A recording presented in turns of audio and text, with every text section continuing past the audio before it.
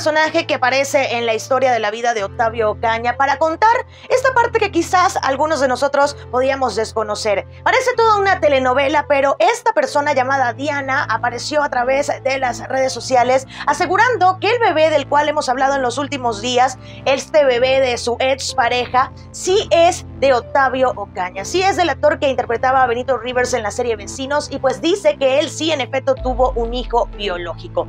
Según incluso Dael Quiroz de Argüente TV, Diana, esta mujer asegura entonces ser amiga cercana de la ex novia y de Octavio Ocaña y pues dice que conoció esta historia de amor de cerquita, que ella pudo ver a la perfección cómo ellos estaban de enamorados, incluso es algo que ella intentó de alguna forma comprobar a través de fotografías de fechas importantes como el Día del Amor y la Amistad, además también otras imágenes donde se podía ver a la chava al lado del actor y también de eh, cómo convivían con la familia del actor, donde aparecía el papá de Octavio Caña, las hermanas gemelas del actor también que estuvieron compartiendo con esta muchacha.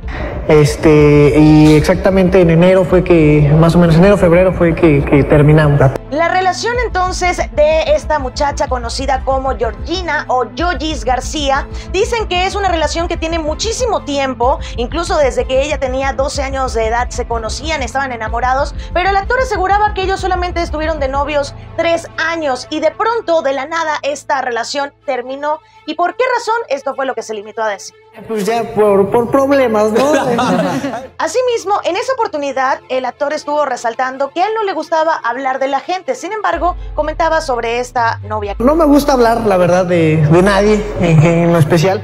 Estuvimos juntos, sí, desde el 2017. Por su parte, Diana, esta nueva voz en esta historia, pues estuvo compartiendo que realmente la que acabó con esta relación de Octavio Ocaña con Yogis fue la mismísima Nerea Godínez, que ella fue como la tercera de la discordia, porque justamente dice esta persona que fue tal como una antagonista de telenovelas que eh, trató de alguna forma de poner mal a esta jovencita con lo que sería el actor y su familia, haciéndoles creer que ella le había sido infiel y finalmente entonces ser ella, Nerea Godínez, la que se quedaría con el actor hasta lo último de sus días. Así fue como Nerea comentaba incluso que se conocieron y quiero que presten atención a las fechas en particular.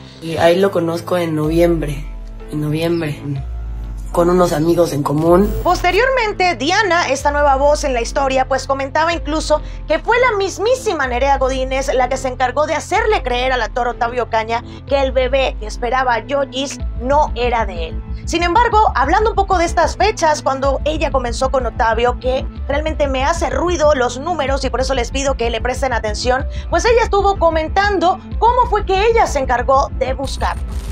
Y en enero yo lo busco porque veo unas cosas que sube a Facebook, yo lo tenía ya en Facebook. Nerea también estuvo contando que el actor la había invitado a una reunión de amigos y que a partir de ese momento, desde esa fecha, ellos nunca más se separaron. Un 28 de enero me parece, y a partir de ese momento no nos volvimos a separar nunca. Por su parte, la supuesta amiga del famoso y de la ex pareja conocida como Yogis, pues también estuvo pidiéndole a la familia del actor que de alguna forma se acerquen a este pequeño niño que mucha gente resalta el parecido que tiene con Octavio Ocaña para que le realicen incluso una prueba de ADN y así sepan realmente que se trata de un hijo biológico del actor. Se supo también que por su parte Georgina, nombre real de Yogis García, pues aseguró que la relación que ella tuvo con Octavio Ocaña había terminado antes de que él comenzara una relación con Nerea Godínez. Sin embargo, no sé si a ustedes les llama la atención las fechas que Nerea menciona porque él habla de que terminó con eh, Yogis justamente en febrero, pero Nerea ya habla antes de que ellos tenían encuentros. Entonces,